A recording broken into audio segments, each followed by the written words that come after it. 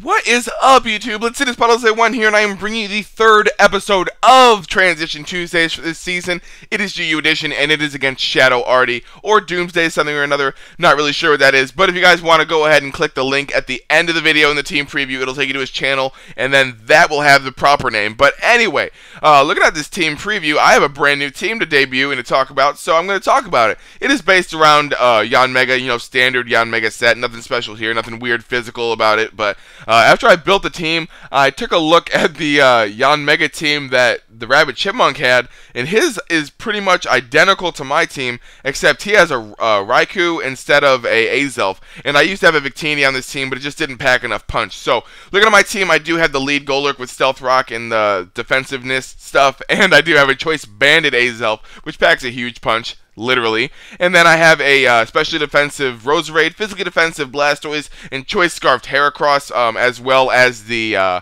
Yanmega there. So this team does work really well. I like it a lot. But looking at my opponent's team, he does have the Firewater Grass core in the form of Shaymin, Kingdra, and Charizard. A defensive core in the form of uh, Hitmontop and Umbreon. And then like uh, a powerhouse anti-lead kind of Nidoking is what I'm getting off this. I'm not sure if it's Choice Scarfed or if any of his other Pokemon are Choice Scarfed. But his Nidoking's like the only thing that's kind of hinting Choice Scarf. So yeah, here we go. My opponent's going to be leading off with the Nidoking as I decide to lead off with my Golurk. And now we did have a battle before this one, and in that battle he did play pretty obviously. So I figured he's just going to go for the Ice Beam here. I don't have anything that can switch in twice to um, a Nidoking, so I decided to stay in and go for the Earthquake, um, trying to get a huge chunk of damage off. I realized that I don't really need to set up my Stealth Rock to win the game, but I do manage to take out the Nidoking early on, which is really nice because I thought for sure that my Golurk wasn't going to be able to do that, but hey, he does. So um, I decided to switch out here because I don't want to take a foul play or the dark type move in general because in my head I was like, oh, he's going to go for payback, but that nobody's gone for payback and I couldn't even tell you how long. So I go on my Roserade to take that hit and I do take it pretty well and I decide to go for the Sludge Bomb here hoping to get the poison on this thing because I know after Synchronize I won't be able to get poisoned because, hey, I'm a poison type. So uh, I do get the poison, Synchronize happens and it doesn't work after he goes for the Yawn and he outspeeds me, which I thought was kind of weird. Uh, I don't know if he's running speed EVs or it's just a natural base power thing or base speed thing. So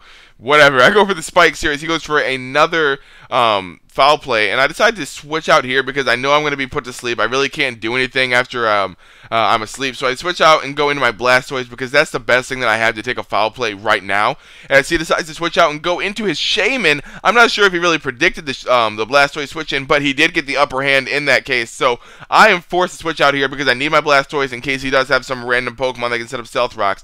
So I go out into my Roserade to take the Seed Flare. Uh, unfortunately for me, he hits and then gets the defensive drop, which is uh, pretty sad, but hey, you know, it's okay. Um, I'm not going to be able to outspeed it anyway as he goes for the Psychic on this turn to take me out. Even without the special defensive drops, I'm pretty sure that he would have been able to take me out with that Psychic, even if I wasn't at minus 2. So um, I noticed that it has Life Orb. I decided to go into my Azelf here and go for the Ice Punch. And uh, he got, he's going to switch out here, go into his Umbreon. And his Umbreon is not going to take that Choice Banded Ice Punch very well.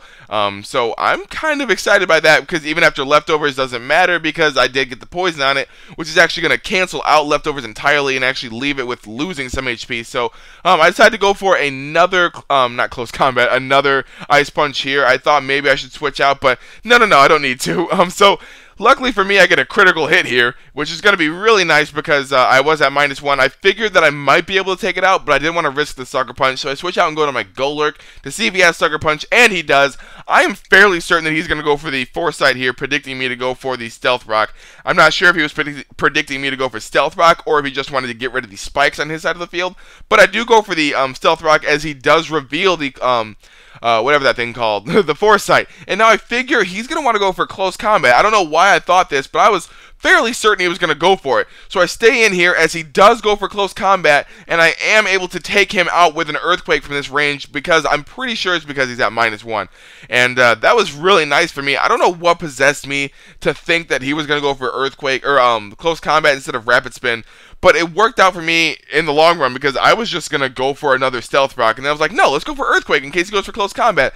And uh, he does, which is really cool. And then he just goes into his Umbreon and kills it right there. I'm not sure what was up with that, but, you know, whatever. Whatever. So I decided to stay in on the Shaymin just to rack up life orb damage and um, just to see what kind of set it is as I send out my Yanmega. Now, I know he's going to predict me to go for the Protect, so right now I'm going to go for the Bug Buzz to get that free speed boost up, and then on the following turn I'll go for the Protect. Now, here he goes for Substitute, which I I do not recommend having on a life orb set. One of my people in my Skype group thought maybe he had the um, sub synthesis kind of thing going on, but there's no way that he wouldn't have gone for synthesis being that low of HP. So I don't know what that was right there, but uh, it, it, wasn't. It's not a good thing. Don't run sub in Life Orb ever. So uh, I go for a Bug Buzz, take it out, and that's pretty cool. And now he's going to go out into his Kingdra here. Kingdra's going to take some damage from these spikes and the Stealth Rock. And then I'm going to go for the Bug Buzz, thinking I can take it out from this range. Uh, nope. Kingdra is going to live it and then uh, take me out with a Surf. I thought maybe I could take it out. I'm not sure if that's min damage because I feel like it is um, being, you know, max special attack and modest and life orb and stab. And it's not resisted, it's a neutral hit, but, you know, whatever. I'm going to cool down for a second. I lock myself into the Zen Headbutt with my Azelf, um, knowing that I can hit everything on his team. And then he goes into his Charizard, which is his last Pokemon. I was kind of hoping I'd miss his Zen Headbutt and he would take me out with whatever move so I could go into my Heracross and debut that thing. But that's not the case, and uh, I just take him out and win the game. So thank you, Shadowarty, for the battle. If you guys want to go ahead and check him out, feel free to click from the Nidoking all the way to the what's that thing called? the other Pokemon, which is called Hitmontop, figured it out, and uh, that'll take you directly to his channel. Like his stuff, favorite it, do whatever you want, subscribe to him if you want to. If you want to see my last, what the heck was that? If you want to see my last battle, go ahead and click the Yanmega. If you want to see my next video when I upload it, click the Golurk. If you want to see the playlist for this um, series here, you can go ahead and click A1's videos. It'll take you directly to the playlist. Start from um, watch it from start to finish, and uh, you will enjoy yourself, I promise. So, uh, yeah, that's about it, guys. Follow me on Twitter, follow me on Tumblr, add me on Skype. Puddles A1 is name throughout all that. I use those social networks to find battles and to receive battles. So, if you want to give me a battle there, hit me up on one of those networks. So, uh, yeah, that's about it, guys. Thank you guys for watching. Peace, love, and later, Gators.